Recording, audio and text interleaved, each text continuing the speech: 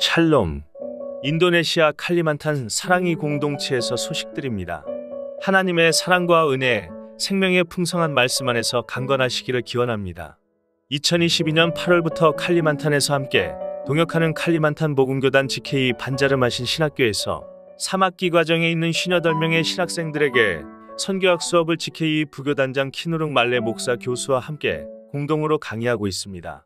신학들과 함께 배우고 수업을 준비하고 강의하며 저 역시 현장에서 적용할 수 있는 선교학을 새롭게 정립하는 시간이 되고 있습니다.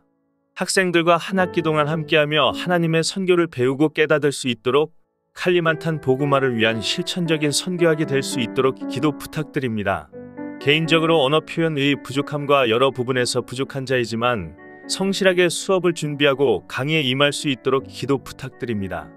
더불어 저희가 거주하고 있는 반자르바루 지역의 베델교단 지비아이 신학교에서 8명의 신학생들에게 선교학 수업을 맡아서 강해 중에 있습니다. 소수의 인원이어서 하나님께서 부르신 부르심의 소명과 비전, 선교학의 여러 주제들에 대해서 조금 더 열린 분위기에서 수업을 진행하고 있습니다. 초교파적으로 하나님께서 만나게 하신 신학생들과 더불어 하나님의 선교와 비전을 함께 나누며 선교의 동역자로 세워져 가기를 기도합니다. 칼리만탄 내륙 보구마를 칼리만탄 복음교단의 중부 칼리만탄 내륙 지역의 다섯 교회와 연합하여 보구마 운동을 시작했습니다. 함께 동참하는 다섯 교회의 목사님들과 세 번의 훈련을 통하여 각 지역 교회 성도님들을 동원하고 함께 관계전도 대상자 명단을 작성한 후 복음을 들고 나가서 전도하는 것에 초점을 두고 있습니다.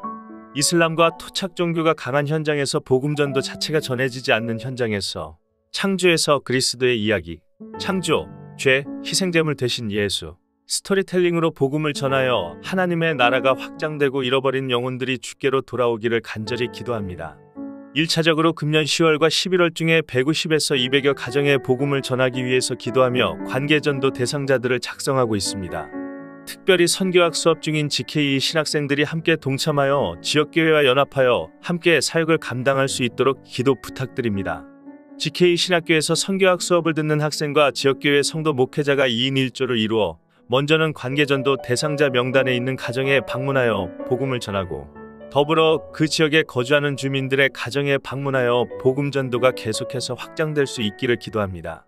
또한 복음 전도 사역을 통해서 지역 교회와 교단, 신학생들이 연합하여 칼리만탄 복음화 운동이 일어날 수 있도록 기도 부탁드립니다. 사랑이 공동체 선교센터 착공 14개월 동안 공정률 40% 정도 완료된 상태입니다. 지난 7월부터는 1층과 2층 내벽, 외벽 공사와 함께 전기, 수도배관 공사 중에 있습니다.